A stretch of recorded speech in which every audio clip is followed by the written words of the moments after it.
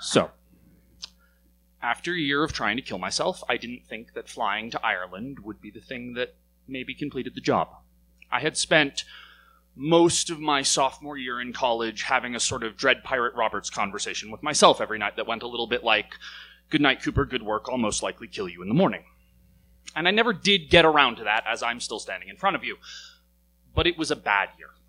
And I graduated that, or I returned to Colorado that summer, and I spent a lot of it in therapy. I had a bad breakup, and I did eventually get the note from my therapist that convinced my college to let me go on a term abroad to Ireland. And I flew thousands of miles from Denver to Ireland, and I landed in Galway and it was amazing. I knew no one where I was. All the people on my student trip with me were not friends of mine. I was alone. I was living by myself. I had my own room for the first time in really ever. And I was alone and I was healing, and it was great. And what made it even better is that I had very little money, but I was the only person in our student group that was interested in traditional Irish music, and we were writing a student's guide to Galway City, and the university suggested that they would offer that they would reimburse my bar tabs if I would go out and write about music. So I was drinking for credit, as my mother would put it, and it was fundamentally amazing. And I spent a lot of that semester each night at a pub at a bar listening to amazing music and writing about it and then having my bar tabs reimbursed. And it was it was lovely. And ireland is this place though that i'm pretty much everybody that i met there could call where you were from in ireland down to county at least if not parish if not street. And if you were american there was one question anybody asked you which was so you're american right you're american like from america so football not not not real football, but like American football. What's with the pads? The Irish condescend to play rugby. And I was asked over and over and over, what's with the pads? And I don't have an answer.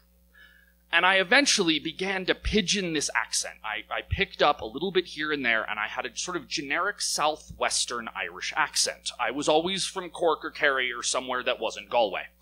And in Ireland in 2001, the specter of the Troubles still really hung over the country. That the Republic of Ireland is 90% Catholic and 10% other. And Galway is a very solidly Republican Catholic place. Belfast is not to be spoken of, and Protestants don't talk about it. And all of this came to a head one night that I was on my way home from a pub, and there's a alley that cuts a big curve off my walk, and I was maybe a few sheets to the wind, but the people in front of me were under full sail. There was a couple, and they were they were taking up the whole alleyway, and I sort of tried to get around them, and I tried to get around them, and the guy he caught me out of the corner of his eye, and he said, "I'm sorry," and I said, "No, it's all right." And he turned to me at 11 o'clock at night in Galway, Ireland, and looked me dead in the eyes and said, Are you from Belfast? And I was certain I was about to be murdered. I was certain that I was about to become a statistic, American tourist killed in alley over misunderstanding an accent. And I tried to get my Yankee on. I began to back up and say, no, I'm an American and I'm sorry I've been picking up the accent. And he came after me and I watched his eyes and the wheels in his head began to turn and he stopped and he said, no, I'm sorry. I'm from Belfast. I thought you were too. And it gets more surreal because the woman with him turns around and it's my housemate Tess who had hair down to her waist that she'd cut that day, and I hadn't recognized her from behind. And there is an unspoken law in Ireland that if you meet friends before closing time, you are legally obliged to go to a bar and buy more booze to contribute to the local economy. So we did. And we stopped off at the pub closest to our house, and they bought me a drink, and my nerves began to calm down. And I got a conversation which I have never heard before or since, which is what it means to be a Protestant in the Republic of Ireland.